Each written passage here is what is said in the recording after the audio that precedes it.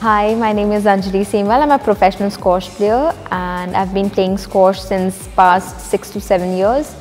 So the last tournament I played was before lockdown. Uh, it was in the month of February last year and uh, I secured first position in the tournament. It was school games nationals.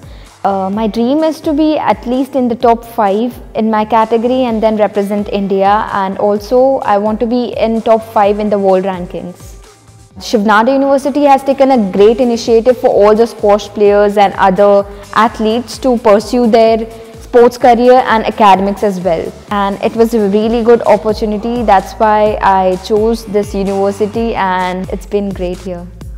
I have a very wonderful coach, gives us tra training schedule so that we can focus on our weaknesses. And the university is amazing. Uh, there's a special sports scholarship, uh, diet for sports scholarship students and that helps us ensure that we get right kind of, kind of nutrition.